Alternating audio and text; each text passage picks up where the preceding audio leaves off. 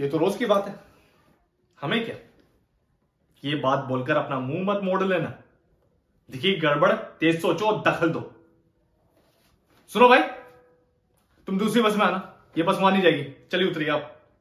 नहीं नहीं, भाई साहब, उतरिए उतरिए। चलिए। अरे, उतरिए भाई साहब, चलिए। हाँ।